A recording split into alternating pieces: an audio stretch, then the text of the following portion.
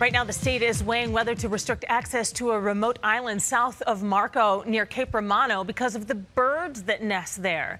NBC2 Sophie Nielsen Colding explains the push to make this a critical wildlife area.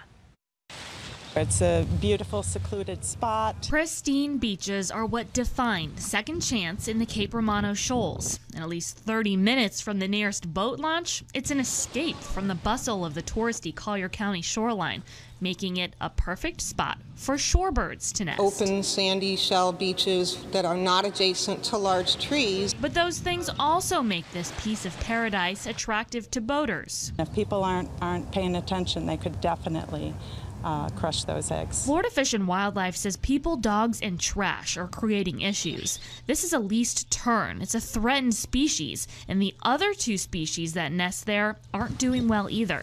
That's why Nancy Anderson says she stays away. The birds will be flying around if they're agitated, if they're getting too close to the nest. If a proposal from FWC goes through, everyone else will have to back off as well. They're working with Rookery Bay Reserve to host two meetings for public input. The proposal is to put up a boundary boundary around the island called a critical wildlife area, restricting access during nesting season between April and August. They need a pretty large space in order for the entire colony to succeed. Renee Wilson from Rookery Bay says they track nests on the island. They've dropped from a high of 600 in 2011 to just over 100 last year, even though Southwest Florida is lined with beaches. Habitat for beach nesting birds is very hard to come by. In Collier County, Sophie Nielsen Colding, NBC2.